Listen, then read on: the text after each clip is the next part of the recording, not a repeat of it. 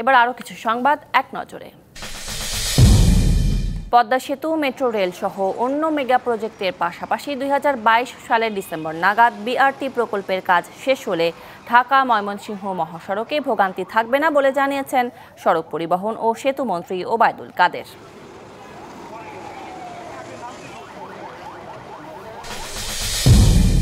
রাষ্ট্রীয় মর্যাদায় শেষ বিদায় জানানো হলো সিরাজগঞ্জ ছয় আসনের সংসদ সদস্য বীর মুক্তিযোদ্ধা হাসিবুর রহমান স্বপনকে।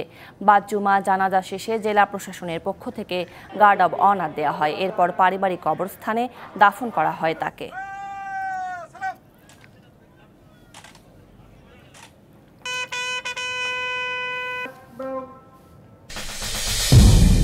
আশুলিয়ায় পরকিয়ার প্রেমিকের যোগ সাজসে কেবল ব্যবসায়ী ইলিম সরকারকে কুপিয়ে হত্যায় গ্রেপ্তার স্ত্রীসহ আসামিদের দ্রুত শাস্তির দাবিতে বিক্ষোভ করেছেন এলাকাবাসী।